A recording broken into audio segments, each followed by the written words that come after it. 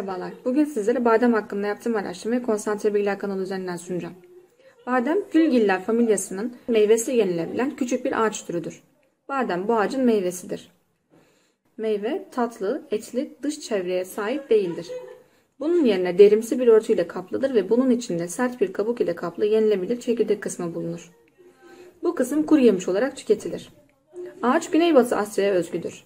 Kültüre alınmış formu İngiliz adalarına kadar kuzeyde yetiştirilebilir. Küçük bir ağaçtır. 4-9 metre uzunluğuna ulaşır.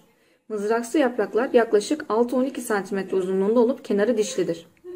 Çekirdekler genelde beyaz veya açık pembe, 5 taş yapraklı ve 3-5 cm çapındadır. Yapraklardan önce erken ilkbaharda açar. Bademin yabani formu Akdeniz bölgesinde Suriye, Lübnan, İsrail ve Ürdün'de yetişir. Bademler tarımsal olarak ilk kez burada yetiştirilmiş olmalıdır. Kültüre alınmış bademler yakın doğuda erken Tunç çağında ortaya çıkmışlardır. Arkeolojik açıdan badem yaklaşık M.Ö. 1325'te Tutankamun kabrinde bulunan meyvelerdendir. Yunanistan, Çin, İran, İtalya, Fas, Portekiz, İspanya, Suriye, Türkiye ve ABD ana üreticilerindendir.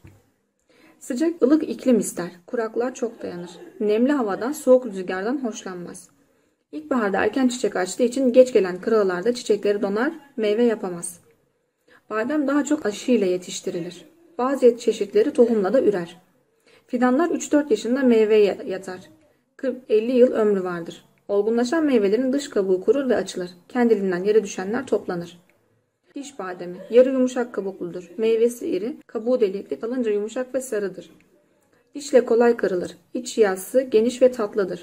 Eylül'de olgunlaşır. Taş bademi. Meyvesi orta iri, kabuğu sarı ve serttir. Zor kırılır. İçi dolgun, tatlı ve dayanıklıdır. Ekim'de olgunlaşır. Nurlu bademi. Kabuğu sert, meyvesi bilinen örneklerden daha iri ve tatlıdır. Ağustos'ta diğer cinslerine göre 15 gün geç olgunlaşır. Kababa, Ağustos'ta olgunlaşır.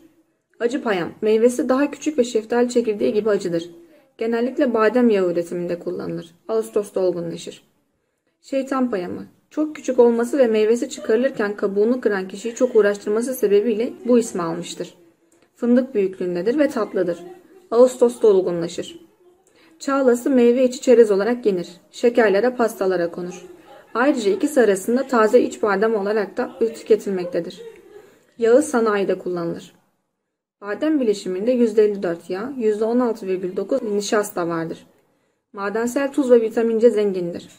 Siz de Konsantre Bilgiler kanalında sunum yapmak ve içerik hazırlamak istiyorsanız info.konsantrebilgiler.com adresine mail atarak irtibata geçin ve bildiklerinizi diğer insanlarla paylaşarak bilgelik ağacını sulayın.